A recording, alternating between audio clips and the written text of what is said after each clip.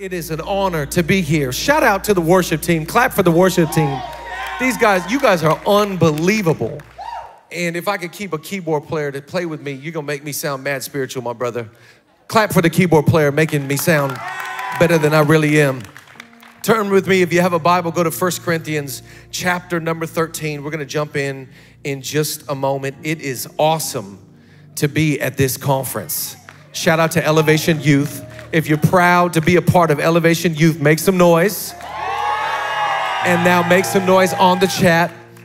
It is uh, it is an honor to be here and shout out to your youth pastors. Does anybody love Pastor Tim? I don't know what kind of coffee or Red Bull this man is drinking, but he is pure energy. And thank you, man. Thank you for your leadership. Thank you for your creativity. Thank you for risking it all for the next generation. We salute you tonight. We honor you. Come on, let's clap and give honor to these amazing youth pastors right here. Y'all are healing the game. And we appreciate you. We honor you. Anybody love your pastors, Pastor Steven and Holly Furtick? My God. It just does not get any better. The last time I was in Charlotte, I was here in Charlotte for Pastor Steven's 40th birthday. And um, he's just such an unbelievable person, leader, preacher, author, communicator, friend. He's just songwriter. And um, we just we salute you sir. We honor you. We thank you so much for your life and who you are and what you've built is just unbelievable. And the way that god is using you is just incredible. Let's clap one more time for pastor steven and really give him honor. People are standing up here. I think you should stand up in your house and just give honor where honor is due in jesus name. Amen? If for those of you that don't know me, my name is Chad Veach in Spanish. That's Shad Beach, and uh, I live in Los Angeles, California. I'm a married man. I am happily married for 11 years. I have a beautiful wife at home named Julia. We have four children together. We have two, four, six, eight. Two, four, six, and eight. We have one girl, three boys. Can you show a photo? Look at my, this is my beautiful family right there. And um, it's my daughter, Georgia, in the wheelchair. We have a special needs daughter. And if you don't know our story, our daughter, uh, when she was born, her brain never formed. For whatever reason, she has smooth brain. Her brain never developed. So she can't, she's never walked, she's never talked, she's never crawled, she's never rolled over. She gets all of her, uh, her meals through her stomach.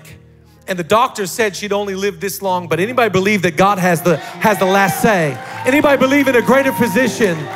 Come on, I know this is the youth conference, but I know there's faith with young people. So somebody thank God for my daughter Georgia tonight.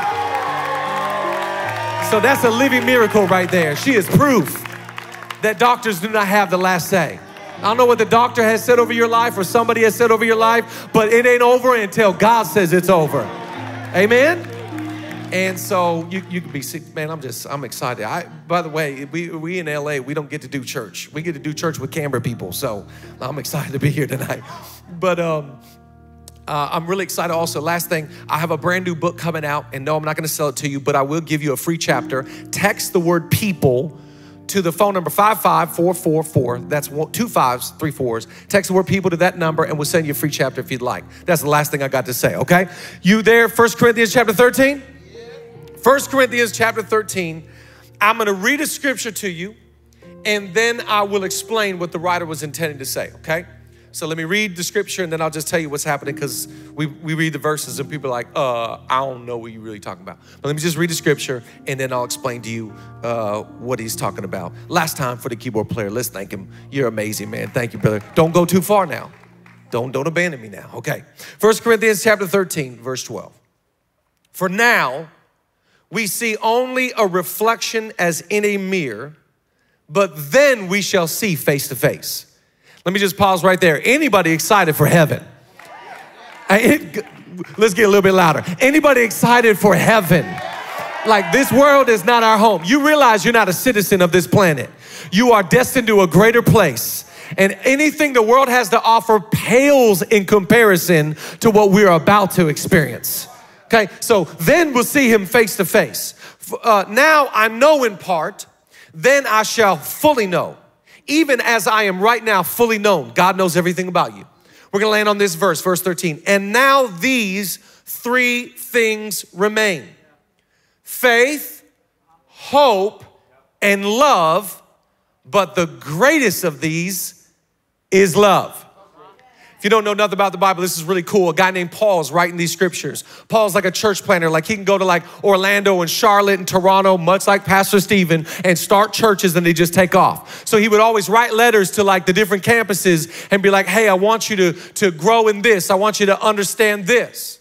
In the previous chapter, chapter 12 of First Corinthians, which is just a letter, he writes to this church that he started and he writes to them and says in chapter 12, there are gifts from God, spiritual gifts. I want to encourage every young person. God, this conference wants to fill you with His Spirit. Maybe you didn't know this, but you are born of the Spirit, you are full of the Spirit, and you have gifts of the Spirit. Whoop, whoop, whoop. Let me say it again. You are born of the Spirit, you are full of the Spirit, and you got gifts of the Spirit. Oh, somebody say amen. So he's going off on gifts. He's like, Y'all are gifted, y'all are gifted from the Spirit. In chapter 13, he continues and he's like, But listen, there ain't nothing worse than somebody that's gifted that doesn't have love. You ever be at school and you see somebody that's really into themselves?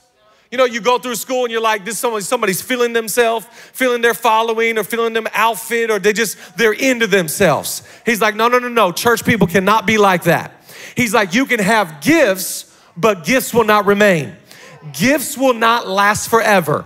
The only thing that will last on this earth and in heaven are three things faith, hope, and love. Put it in the chat. Faith, hope, and love. I want everybody to say it right here at Elevation at the campus. Everybody say faith, hope, and love. He said, listen, don't build your life on gifts. Gifts will fade away. Your gifting, by the way, some of you are gifted creatively. Some of you are gifted songwriters or, or, or video editors or gifted with math, gifted with, with social skills. Your gift will not last forever. The only thing that will last forever is faith. What was the second one? Oh, it is hope. Sorry, I got, I'm getting old. I'm 40, I'm 42. What's the last? Oh, love, faith, hope, and love. I want to preach a message, write down the title tonight. It's called You Can Cancel Everything But This. You can cancel everything but this. I don't know what it's like where you're streaming in from, but I live in LA and everything is canceled. They can, they're canceling. Uh, we got the notification this, this last week that they are canceling school in LA this school year coming up. I haven't cried that hard in a long time. I am a homeschool parent once again. I was like, no, we're gonna, we're gonna send these kids to their grandmothers. I cannot do this. They canceled Coachella. I was kind of happy that they canceled Coachella because every time they cancel Coachella, it's good for the church. People come on Sunday. Usually Coachella's on Easter weekend. We have bad Easters. I was glad they canceled Coachella, okay? But they canceling everything, sporting event. They canceled March Madness. They canceled the Masters. They're canceling all kinds of stuff. Listen, you can cancel everything but this. You cannot cancel faith. You cannot cancel hope. You cannot cancel love. I saw this great commercial. Anybody appreciate a good commercial? Like when a good, good commercial comes on, you're like, you know what? Good job. Not very often we see one of those. I want to applaud and celebrate the creative team that made that commercial. I saw a fantastic commercial the other day. It was like it, it, was like a graduation ceremony, like via Zoom, and they're like, you know, graduations are canceled. And it was like a birthday party, like via Zoom, like birthday parties aren't canceled. I'm thinking in my head, like, people are tired of Zoom, okay? It's like, this is not fun for everybody. Then it's like a baby and like saying first words and like first words aren't canceled. And we live in a society and a culture that is aware things are getting canceled left and right. I wanna just give you hope for your life. There are three things that will never be canceled, not here nor there. It is faith in God, hope in God, and the love of God. Come on, give them a praise right here. Come on, give them a praise if you're thankful. You can cancel everything but this. Come on, let's pray together. Jesus, we thank you that you are awesome. We thank you that you are good. We thank you that you are a kind, loving, and gracious God. Tonight we ask, open up our eyes so we can really see you. Open up our ears so we can really hear you. If this is the only thing that remains, God, help us as young people to build our life not on our gifts, not on our talents, but on that which will last forever. God, thank you for your word. Thank you that it's a lamp to our feet, a light to our path. Thank you that you sent your word to revive us and you sent your word to heal us. God, we are going to devour your word because they are literally life to our soul. In Jesus' name, and everybody said together, come on, clap one more time if you're grateful for it. All right. I want you to take those three thoughts faith, hope, and love and just go with me to a story in the Bible. Now, there's a story in, in, in, the book of John about Jesus going to Samaria. In fact, the Bible says that Jesus had to go through Samaria. So I want to preach to some people tonight. You're like, I don't want to go through 2020. I don't want to go through this season. I don't want to uh, address some things in my life. No, no. What you're going through right now, you have to go through it. Jesus had to go to Samaria. By the way, Samaritans were the worst of the worst. They were the lowest of the lowest. And some people didn't believe that the Samaritans should have a shot at the gospel. But it says Jesus had to go through Samaria. I want to encourage some people tonight. You're going like, I want to go around this thing. I want to go over this thing. I want to go, I don't want, want to go through this thing. No, maybe you need to go through 2020. Maybe this year is appointed by heaven saying we're going to deal with some issues. There's some insecurity there's some ego, there's some things in your life, there's some hidden sin that we got to address. Remember, whatever gets revealed must get healed. And so there's some things that you got to go through because the Holy Spirit is revealing some things, not so that you can point them out and tell them how bad you are. We'll leave Instagram comments to that. No, the Holy Spirit has brought things to light because He's like, I want to heal you. I want to deliver you. I want to touch that area. I want to bring light to that area. We're not going to let you deal with the future until you go through what you need to go through. So Jesus had to go through Samaria. When he gets to Samaria, he goes to a well, but before he does, he tells his guys, his disciples, um, y'all go into the town and give me a subway. Okay, y'all got to laugh. Okay, we're gonna have some fun or not. I hear there's still $5 even during COVID 19. I'm, I'm hungry, I'm famished. Great word. Go get me some food and I'll stay here. Jesus is getting rid of some guys that are not gonna understand what he's about to do. I just wanna encourage somebody. There's some friends you have that don't understand why you're streaming into this conference. There's some people in your world that you gotta get, listen, you gotta get some separation for your preparation because God's about to do some things in your life and through your life that no eye has seen and no ear has heard. Somebody give God some praise if you're like, I gotta kick some people out. I got to get rid of some folks. There's some there's some negative people. There's some critical people. There's some naysayers. There's some people that I need just for a season, not forever, just for right now, for me to go through what I got to go through, for me to do what I'm supposed to do. I need y'all to get out of my life. I need I need to mute some folks on Instagram. Oh, hello. I need to unfollow some folks on TikTok. Who am I preaching to? Jesus had to go through Samaria and he had to get rid of some guys because, they, listen, not everybody in your life is gonna understand when you start serving God. I'll never forget, I was 16 years old when I fully got saved, like saved, saved. Well, I'm a pastor's kid, grew up in church, 16 years old. I'm at the Promise Keepers, April 26, 1996. I'm in the Kingdome with 65,000 other men. We are singing a hymn to God, and I finally then, at 16, said, God, I will serve you with all my heart, all my soul, all my mind, and my strength. My youth group had 30 people in it at the time. I went back to my to my church, I went back to my house, and I said, I'm about to start a revival in this mug. I had to get rid of some friends for me to walk walk in my calling. Remember, you got to become who you're supposed to become so you can do what you're supposed to do. Come on, somebody give him some praise tonight. And so, so, so I, I, said to one buddy, you know, we really can't hang out like we we've been hanging out. Why? How come? Well, that that kind of says it all right there. And and I'm just, it's not you. You, you ever break up with somebody? It's not you, it's me. Jesus is like, y'all got to go this way because I need to talk to this woman at the well. She's working at the well. She's she's getting drinks. She's getting drinks for Jesus. And Jesus, um, what I love about Jesus is he baits her into a conversation. He's like, hey, how you doing? Hey, yeah, good to see you. People skills. Um, he's like, um, can, can I get a drink? And um, he's just baiting her into a conversation because he's going somewhere. Maybe it was a graphic that led you here tonight.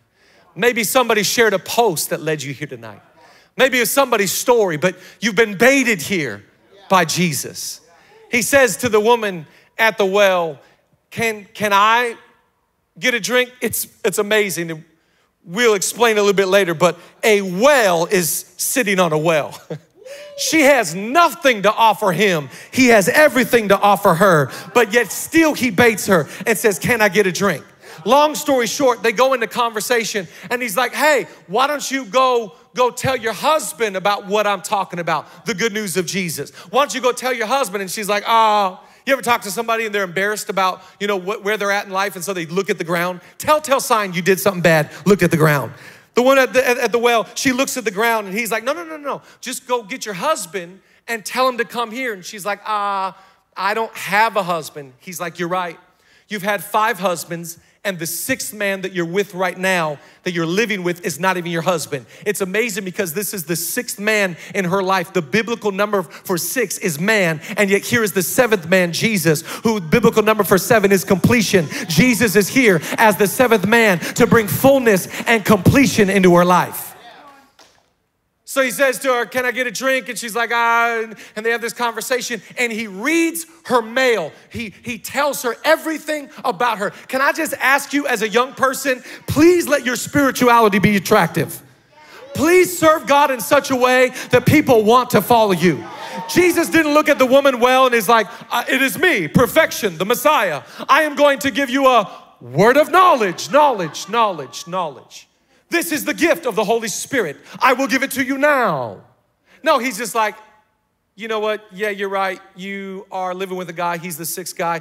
Your spirituality in 2020 needs to be so attractive that your school looks at you and says, I don't know what it is about you, but you got real joy. I don't know what it is about you, but you're a non anxious presence. I don't know what it is about you, but you accept others just where they are. I don't know what it is about you, but you live life really well. I don't know what it is about you, but you treat people with kindness and respect. I don't know what it is about you, but you're not just against racism, you're anti racist. I don't know what it is about you, but I'm all about what you're doing. Tell me more.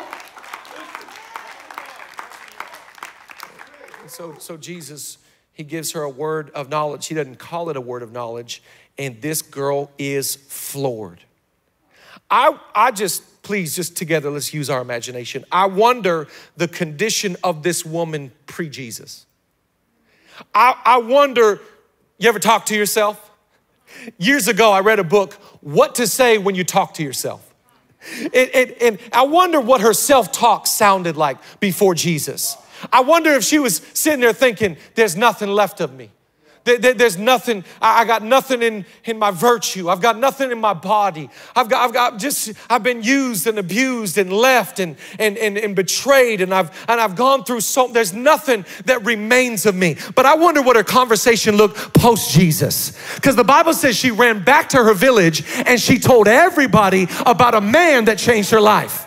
She told everybody, There is, I'll tell you what remains of me. Three things are left. I got faith now, I've got hope now, and I've got love now. Come on, somebody praise Him. If you're thanking God that pre this conference, you might not have felt that good, but during this conference, God did something in you, and you're walking away saying, I've got more faith, more hope, and more love. Give Him a shout tonight if you're grateful that God shows up right where you are, knows what you're doing, and still loves you enough to help you get through it.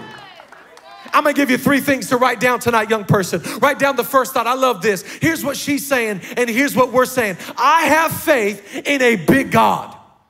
Woo, I love this thought because I'm preaching at a faith church tonight. I got faith in a really big God. I don't know, listen, let me just tell some young people I don't know how big your problems are, but they're not bigger than God. God is bigger, God is better, God is stronger. Listen, listen, stop telling God how big your mountains are. Start telling your mountains how big your God is.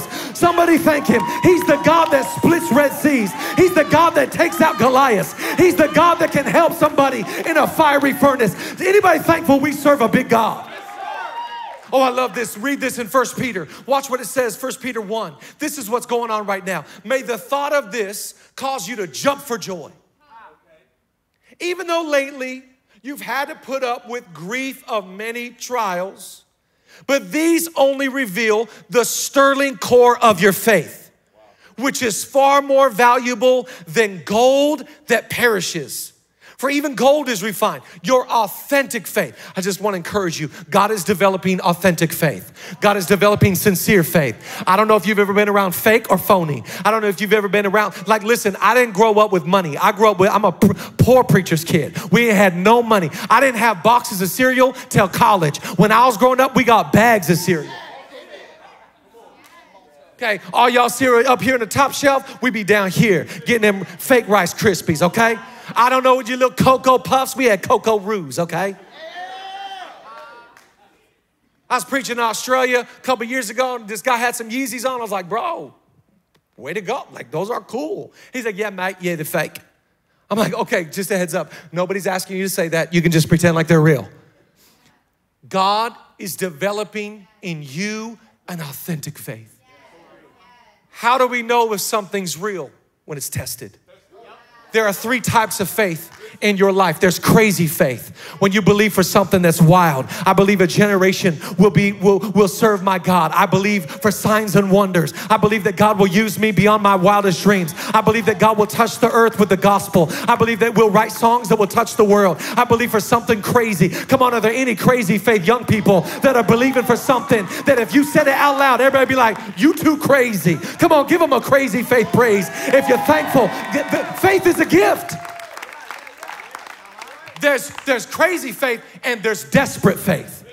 Desperate faith is like the woman that grabs the hem of his garment. De- desperate faith is like the, the man that came and said, My daughter is sick at home. But I've, I've had desperate faith with my daughter, Georgia. There's crazy faith and there's desperate faith. But I'm talking to somebody tonight that's got tested faith like tested. Like that's what's going on in 2020. He's testing you. He's testing your belief.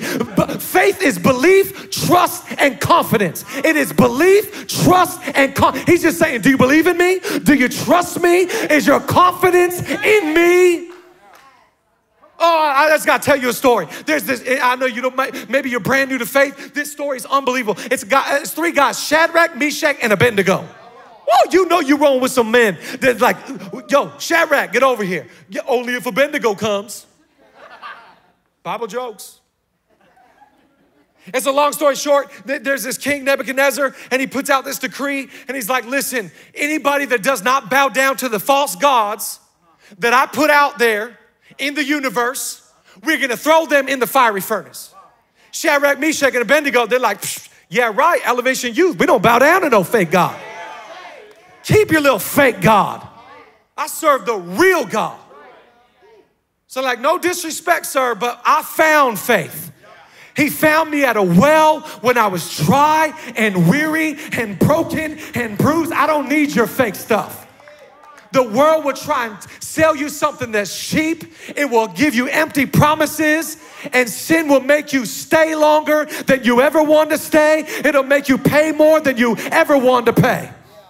And they're like, we're not bowing down. We are not bowing down to this fake God. Watch what it says here in the book of Daniel. Daniel chapter 3. Shadrach, Meshach, and Abednego replied, King Nebuchadnezzar, we do not need to defend ourselves before you in this matter. If we are thrown into the blazing furnace, the God we serve is able to deliver us from it. And he will deliver us from your majesty hand. But Even if he does not we want you to know, Your Majesty, we will not serve your gods or worship the image of gold you have set up. I need some people at this conference to transfer over to an even if faith. Even if I don't get out of COVID 19, even if my school doesn't get saved, even if my boyfriend doesn't understand what I'm about to do. Somebody thank God, I'm about to walk into an even if faith. If you test me, even if my, my, my mom doesn't get healed, even if my daughter doesn't get healed, even if we don't see it, I'll still believe it. Give them some praise tonight. If you're thinking, I've got faith in a really big God. Re- re- remember, if, if, if you've got a, a, a little God, you've got really big problems. But, but if you've got a really big God, you've got really little problems. And so, and so, and so the first one that, that she walks back to her city with, and she's like, I got faith. I got faith. I, you know, you know what? I really believe out of this conference, we're gonna get contagious faith like like like we like we just came out the fire. Like it's contagious. It's like it's like it's all over your instagram account. It's all over it's all over your wall on your phone. It's just it's contagious faith. Anybody down for some contagious faith? So so so number one i got faith in a big god. Write down number two i have hope in better days ahead. Because because when she was sitting at the well all hope was lost. When, when she was sitting at the well she she did not feel hopeful whatsoever but once the gospel came in, hope was restored, hope was renewed. I, I just want to remind you faith is the builder, but hope is the architect. Your faith is going to build your life, but hope is what allows you to dream for your life. Like my, my parents built a house a few years ago and they hired an architect. And when they got the architect to the to our old house, they, they sat down and they started to make plans. And they said, Our kitchen's gonna be here, and I wanna have an island right here, and this is the patio. And they drew up plans for you. I wanna tell you, the Holy Spirit is downloading some hope for you. He's saying, You know what? I, I believe this is your geography. Some of you are getting your occupation, some of you are getting your future right now. He's, he's just allowing you to dream for a moment. What could the future look like? You're not cursed by your generation. You're not cursed by your last name. Something's on you, something's in you. Hope is the dream, but faith will build it daily. Any hopeful people, anybody have hope in a better day? Oh, I love this. Look at, look, look at this in, in, in, in Romans 4, verse 18. Against all hope, Abraham in hope believed and so became the father of many nations. Look at Psalm 33, 18. But the eyes of the Lord are on those who fear him, on those whose hope is in his unfailing love. The eyes of the Lord are on anybody that says, God, I hope in you. Hope, by definition, is confident expectation. Like, y'all remember when the Golden State Warriors were good? They ain't no more, thank God. But do you remember was like Steph Curry with the shot boy? You remember? And I'll never forget the first time I went to Oracle Arena, and that he's from Charlotte. Steph, I'll never forget the first time he shot a three and I was there. He catches the ball and he starts to shoot it. He just went to the motion. I promise you, the whole arena stood up. And the whole arena stood up like, yeah, already went in. And when this joker shot it, it was like everybody knew it was gonna go in. He knew it was gonna go in. So when it went in, they were just like, yeah, that's right. That's our boy, Steph Curry, with the shot. I, I, I want you to get some hope that when God's about to do something, even before you see it, you already stand to your feet and say, I've got confident expectation that this is about to happen. Somebody praise him tonight like you've got faith and you've got hope. Oh, I love that. But the eyes of the Lord are searching for those whose hope is in His unfailing love. His unfailing love. He'll never quit. Even when you're at the well, even when you're dry and you've made bad decisions, even when you're living in sin and you've got disgust in your life, He doesn't stay away from you. Remember, when you're in your worst place, God does His best stuff. When, listen, when everybody's walking out of your life, we serve the God that's walking into your life. You might feel like I'm at the well, I'm bruised and broken and tired and weary. Here comes Jesus. Y'all got to get away. I need to get with this 14 year old. I need to get with this 16 year old to tell them I'm obsessed with you. I'm in love with you. Anybody thankful for grace tonight? I got big faith. I got faith.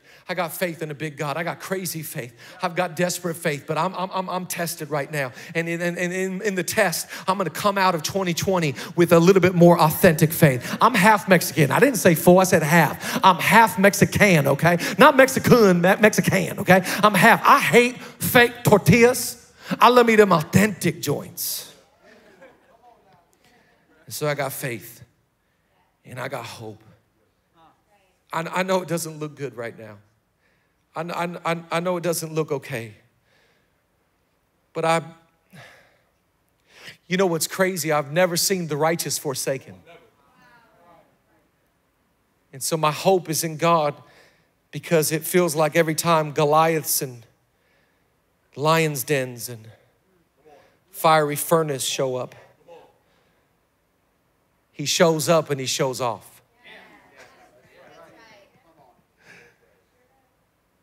And so I'm kind of just, I know he's just got the ball because I've given him my request, but I'm already to my feet. And I know he's gonna come through. So I got, I got faith in a big God. I have hope in better days ahead. Write down number three. I have a love for Jesus and my neighbors. Keyboard player, you can, you can come play and just be in the background with me because I just, we're gonna land the plane in just a moment. I have a love for Jesus and my neighbors. You gotta just put that in your phone somewhere. I have a love for Jesus and my neighbors. You know, the only Christian I don't like is the Christian that's like, I love God, but I hate people.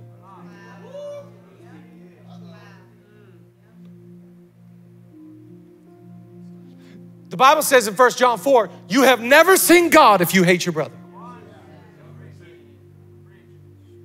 And and so let's just talk about racism. Racism is a sin. And racism at its core is a gospel issue because you can't receive the good news of Jesus and hate somebody else. Because the more he loves you, the more you love others. That's why he said these are the two greatest commandments love the Lord your God with all your heart, all your soul, mind, and strength, and love your neighbor as yourself. So I, I walked away from this well with faith and hope and I started just loving. You ever meet somebody that just loves people and they just walk around, they're like, oh my gosh, you're my favorite. You're my favorite. People get mad at me all the time, Pastor Tim, and they're like, how come you say everybody's your favorite? This person's your favorite, that person's your favorite. It's like, don't hate on me because I love people and you don't. Just, just, you cannot love God and hate others the more He loves you and washes you and heals you and forgives you and accepts you and redeems you and opens His arm. It's like, how could I not? I love you, man. Love you. We need to be a church and a generation that says, Love you. Love you, mean it. Sometimes people are so insecure, you gotta leave the mean it, mean it on it. Love you, mean it. Because, because listen, there are more people for you than against you. And don't let the devil lie to you. And don't let some comment get in your head. And don't let somebody that doesn't like you at school or doesn't like you at church get into your head. You need something bigger in your spirit. I have a love for Jesus and a love for my neighbors. When the love of God overwhelms your life, you'll never be the same. The love of God, listen, there's this is why I don't like arrogant Christianity. Arrogant Christianity is like, ooh, ooh, ooh, you got what I need.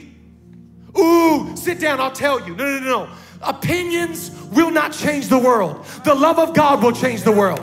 We don't need to hear what you've got to say. We need to hear what God has to say. The love of God will change the world. The love of God will change the world. And the love of God, the love of God, the love of God drove him to Samaria. What? Yeah, because like he loves people that everybody else thought that they don't deserve a chance. They should not be at church. They don't dress like us, act like us, talk like us. They don't have the same bank account. They don't, they, no, no, no, no. They, the gospel's not for them. He's like, no, no, no. I came to Samaria because of love, and I came to the well because of love, and I got all these people at Subway because of love. I got to clear some space and have a conversation because love made him do it. Love made him get on a cross. Love didn't make him just go to a well. Love made him get on a cross and said, Father, Father, forgive these people, for they know not what they do. Is there anybody thankful tonight that the love of God is going to change your life and change this world? We need love. We need love. We don't need opinions. We don't need criticism. We need love. We need love, acceptance, and forgiveness. We need the love of Jesus. Jesus is the solution. Jesus is the answer. He's all we have, all we need. I can't take my gifts with me. I can't take talents. I got no followers in heaven. All I've got is my faith. All I've got is hope. All I've got is love. You can cancel everything but this. I don't know what you're building your life on right now. It can't be your last name. It can't be how good you are at sports or, or schoolwork. It cannot be any other thing but faith, hope, and love. You can cancel all of it. All of it will fade. Listen, the grass may wither and the flower may fade, but the word of the Lord will last for.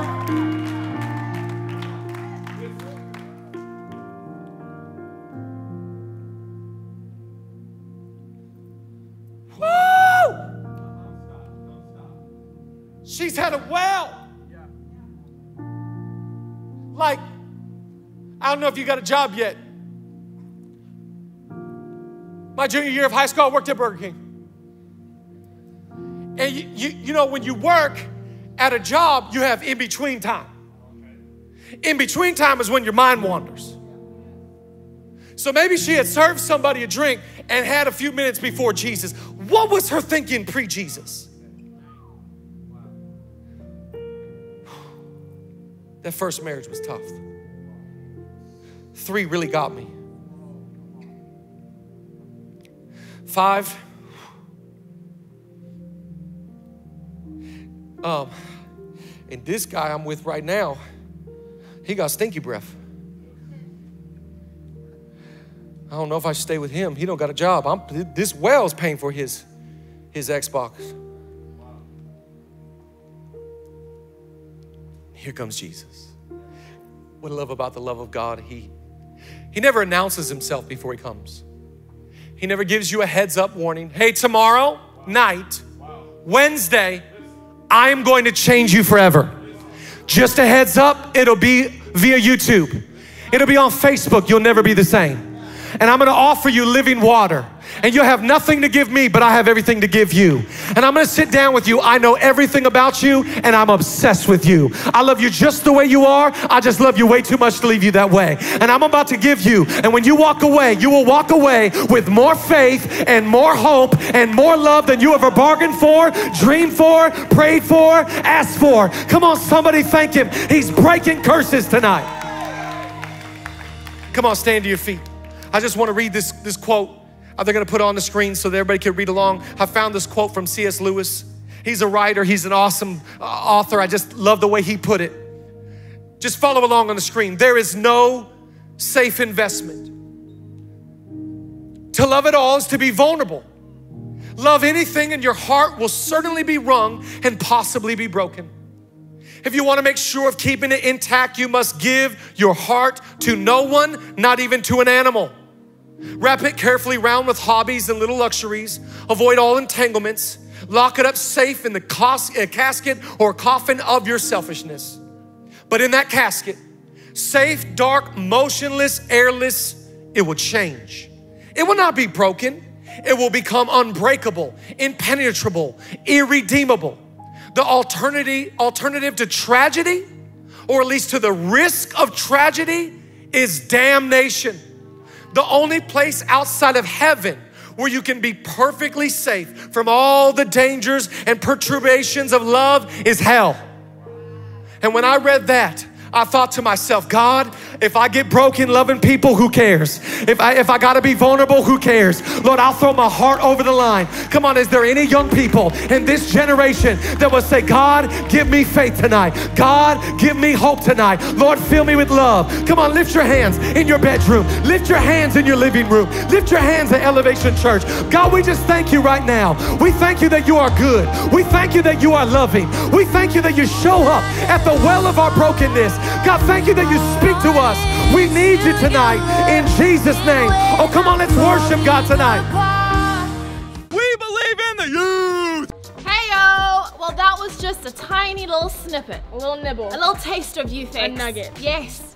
Just a little bit. If you want to see some more, make sure you subscribe to this channel and hit the bell button so you don't miss anything else. Yes, comment, like this, like share it, it. share so many options, but all apply to you.